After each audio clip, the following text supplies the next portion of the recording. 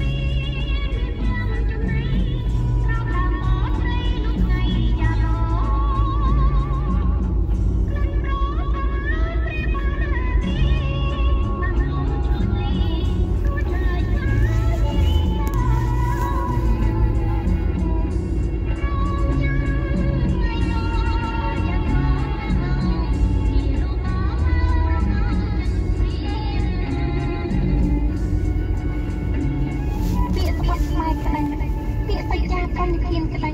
ពាក្យសន្យាក្តីទាំងអស់នេះពុំអាចយកជាការឬចាត់ទុកថាត្រឹមត្រូវតាមនីតិក្រមចំពោះមុខច្បាប់ចំពោះមុខប្រពៃណីបានទេមានតែអពាហ៍ពិពាហ៍មួយមុខប៉ុណ្ណោះដែលជារំដៅជីកប់នៅការអាម៉ាស់ទាំងឡាយរបស់យើងវត្ថុដែលស្ត្រីជាម្ដាយខ្មែរចង់បានជាទីបំផុតនោះគឺអពាហ៍ពិពាហ៍ពេញមិត្តនៃដៃធីតានេះឯង សេចក្តីសប្បាយក្នុងក្តីស្នេហា មានរយៈតែមួយប្រព្រឹត្តភ្នែកទេតែផ្ទុយទៅវិញទឹកភ្នែកនៃតុកតោក្នុងកិច្ចស្នេហាវានឹងត្រាំបេះដូងអ្នកឲ្យស្លោកស្រពងអស់មួយជីវិតណាជាទៀងតែប្អូន